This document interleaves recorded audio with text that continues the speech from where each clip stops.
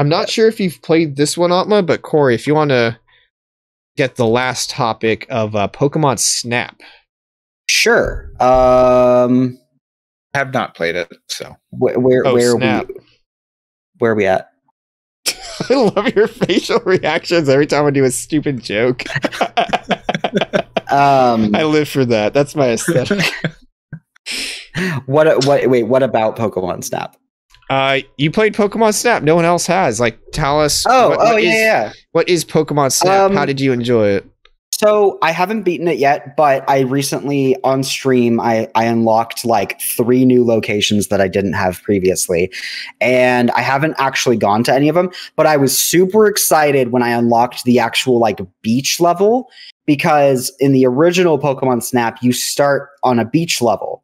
And it's just it's just super adorable. Like literally the game is just adorable. It's just so cute and so fun and like um I actually enjoy like I have never played a game that had that literally had photo mode. Like there's so many games now that have photo mode and it encourages you to like edit them and upload them to your social media and blah blah blah. I haven't wanted to do that with anything else except for Pokemon Snap. And they have like an in-game interface, like online in-game interface with that you just upload it to the Pokemon Snap like the po- the Pokemon Snap like in-game web page or whatever, and people can literally rate your rate your uh your photos, like give your photos like cheers or whatever. And it's like super simple, eh, but but it's like adorable because you can put stickers and stuff on it and put frames around it and just add all these different wacky things to it. And uh, I already uploaded like two customized photos of like a a, a, a Dugtrio and um and then also like these I can't remember what they're called, but they're these like little like pom pom looking Pokemon that were like they're kind of like going in a row and they're walking along the ground or something. And I I decorate them to all, have all little bow ties and little umbrellas, and it was adorable. Um, so yeah, I'm having a fun time with it. Like it's it's a nice chill game uh between horror games on my stream to play. So like basically the way I format my stream is when we always have a horror game we're playing and we always have a cute game we're playing because my whole tagline is welcome to my kingdom we have the cuties and the spookies here. Um It's a good so- palate cleanser, that's for sure.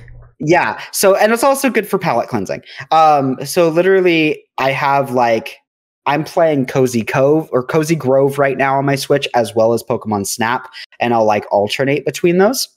So When I Cozy Grove play- is a horror game. Cozy Grove is not a horror game. I'll alter- when it comes to cute games, I'll alternate between those. Um, currently, my horror game I'm playing is Alien Isolation. So, Big spookies. but yeah, Pokemon Snap. If you like the nostalgia, if you like discovering new Pokemon, whether you call them GMOs or not, my boyfriend calls them GMOs. Uh, you'll enjoy this one. You'll enjoy it. How So- how freaked out would you be in real life if you like accidentally stepped on a rock and then just like fists exploded out of it and wanted to square up with you? I'm not kidding. I would, I would, I would squeak. I would, I would, I would run because that's not natural. Not I- in I this love- world. I love how Geodude's name is literally Rock Dude. The Yeah. dude of rock. Dude of rock. He's, he's, Um, the, he's the rock dude. What one thing I heard people talking about with this new one in, in particular was that uh, you can't unlock like new levels and stuff, and you, like you kind of have to do repeat runs of the same levels back to back in order to unlock Yeah. new stuff. What, did It you is- like that? Was it annoying or? It's not okay. So like it is a little bit grindy, but it's not like as long as you're like actually trying with each run, then then uh you can get through like you can discover new places at a at a Mhm. decent pace. Um the game the game does take a bit to get you introduced to all of the elements of it. Um but I think I actually kind of like that of it because it actually teaches you to be patient and just enjoy what you have now and not just like go go go go go and trying to beat the game as fast as possible because it is a game literally meant to be about leisurely going through these areas of pokemon and capturing the perfect picture like it's not meant to be a speed game you know Yeah. so I, I think that critique is a little is a little harsh. And the I, I can see why I can see why people are like, oh, it's too grindy. But I, I think it has the perfect amount of grind, if that makes sense. Uh, question about the, uh, the the picture submissions because if I remember correctly from the first game, uh, you can only submit like a specific amount to like get graded to get points and whatnot. That kind of dictates if you if you move to other levels. Is it that same thing where you have to like select a, a select few out of all the pictures you take? So yeah, so when you take pictures, it actually rates it based on like the positioning of your Pokemon, how many Pokemon are in the photo, the scenery, uh, what they're doing in the photo. Um, all all that stuff is taken into account, and um, it, it it rates numerically. Uh, it, it it tallies up points, and then based on your points, it'll reward you. Uh, one through four stars and then those stars are also have their own levels of uh, bronze silver gold and diamond um, so and then before you even submit the photos it actually tells you how many number stars you're going to get from that photo that you're about to submit. But it doesn't tell you like what kind of stars. Hmm. um, so uh, and then it encourages you to keep going back and getting uh different photos of that same pokemon to fill up your album of like so say you get you get say you get a picture of pikachu and it's a one star picture. But there's still three other slots for a two star three star and a four star picture. So it encourages you to go through and fill up the album for those four slots for each po- for each pokemon basically.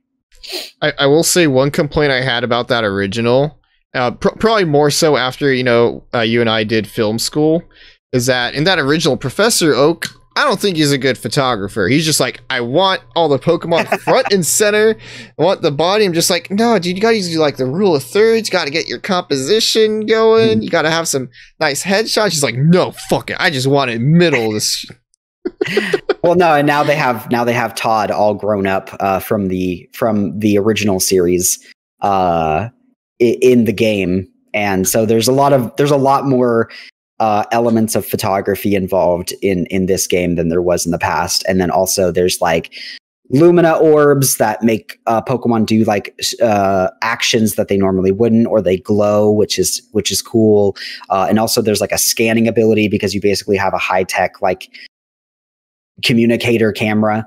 Um that you can scan things and it literally like it, it, sometimes it'll cause pokemon to do different actions too and it's this whole thing A- and then of course you can throw fruit at the pokemon because what's I- I was- pokemon snap without throwing fruit you know so I, I was about to ask, like, yeah, can you still just yeet fruit at, like in a Pokemon's head, or because you even had uh, what were they called in the first one? Pester balls, just like little gas balls that like make Pokemon sick to make Yeah. them do stuff.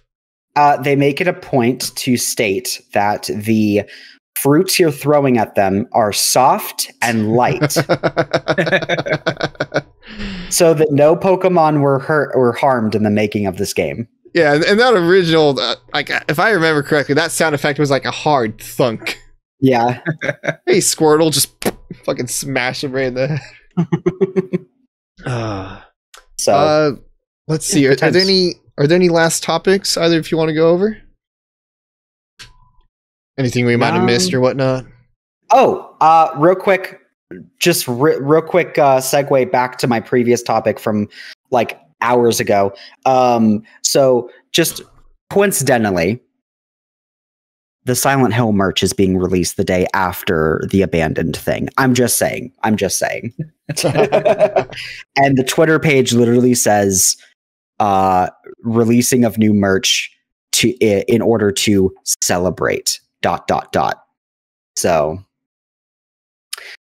that's my news. How about you, Atma? Anything you want to shout out or anything? Um, trying to think. I, uh, oh, I mean, um, I guess I've been playing Griftlands, uh, on my Switch.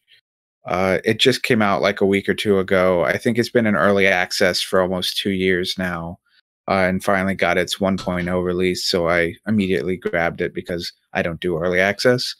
Um, and it it's basically Slay the Spire uh, if you add actual narrative elements to it. Um, lots of it's deck building roguelike. Uh, I found it a little easier. Um, but I also don't know if that's just because I've played like 300 hours of Slay the Spire or not. Holy shit! oh my god! Oh wow! yeah, so it's a good I- game. yeah, Slay the Spire is fantastic. Uh, Mhm. Griftlands, like, there's three characters, and I've already beaten the first two story campaigns, and I don't, I haven't really looked into whether that's like supposed to happen, and then like the challenges, like on like the harder difficulties or like repeat playthroughs or what. Um, but the narrative is actually pretty interesting. I really like the world building.